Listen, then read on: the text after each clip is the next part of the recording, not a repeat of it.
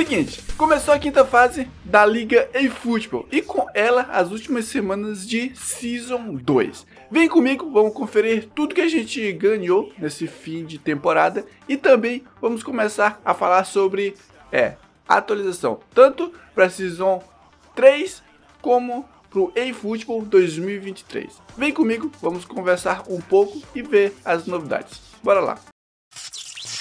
Vamos apertar aqui no menu, lembrando que hoje é quinta-feira, então tem que baixar dados.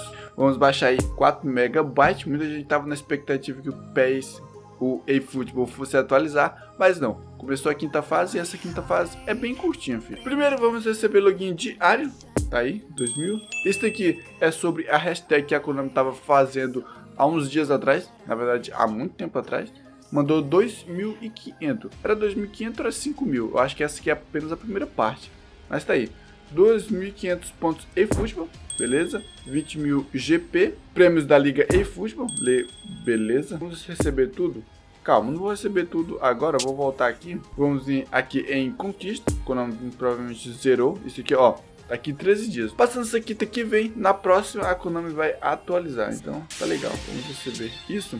Olha só, prêmios semanais, objetivos semanais, a Konami atualizou. Vamos voltar. Vamos entrar nos eventos. Vamos ver aqui, beleza? A Konami atualizou os dois eventos. No caso, essa ele, ela atualizou ou já estava aqui? Se não me engano, ela atualizou. Eu não estou lembrado direito, mas acho que sim. Acho que ela atualizou. Esse aqui eu tenho certeza que ela atualizou. Evento é contra usuário. Falta aí seis dias. Ela trocou também a capa. Agora está com a capa do Manchester United. Tá aí o Old Club, vamos dar uma olhada aqui como que funciona. São quatro desafios, sendo que você tem que vencer as três na última parte, quer dizer, na última partida não, no último desafio, desafio número 4, que te dá 30 mil pontos em futebol. Esse desafio da primeira vez eu zerei, não tá tão absurdo assim, dá para vencer de boa, venci de primeira, então tá aí. E aqui o que já tava e vai continuar aí por mais 3 dias. 3 mil pontos. Deixa eu dar uma olhada.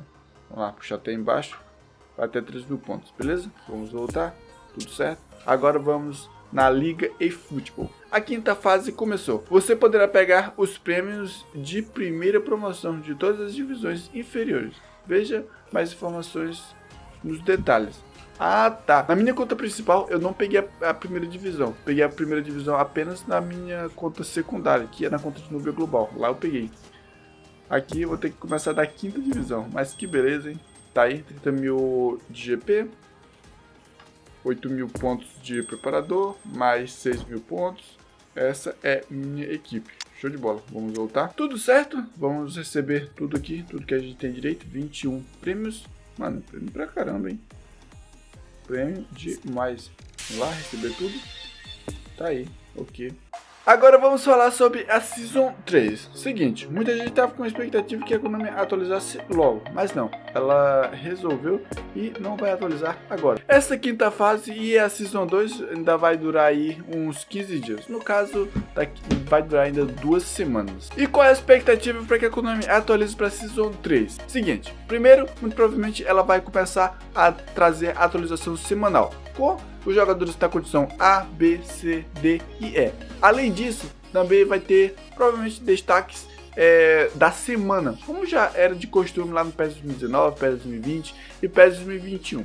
Além disso, ela também vai atualizar os uniformes e também aqueles clubes que ela agora é parceiro, como a Inter de Milão e o Milan. Muito provavelmente ela também vai trazer estádio desses clubes, mas o PC, né? Que aqui a gente só usa um estádio. Agora vamos falar do eFootball 2023, que esse muito provavelmente vai chegar antes da Copa. A expectativa que chegasse agora no finalzinho de agosto, começo de setembro, mas pelo que tudo indica, não. Vai chegar apenas antes da Copa. Pelos rumores, tudo indica que a data que a Konami vai usar para trazer é, o eFootball 2023 vai ser antes da Copa. E com isso, alguns eventos relacionados à Copa. A Konami vai querer ganhar dinheiro na Copa, mesmo não tendo os direitos da Copa, ela vai trazer algum evento, porque é costume, todo ano ela faz algum evento relacionado, mesmo sem ter as imagens é, disponível certinho com direito, mas ela sempre dá um jeito de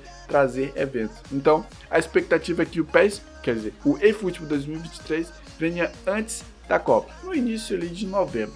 Beleza? É isso, essas informações que eu queria passar para você. E lembrando, todas as informações que eu passei aqui são apenas informações é, de rumores, que tá bem forte, mas nada confirmado pela Konami, beleza?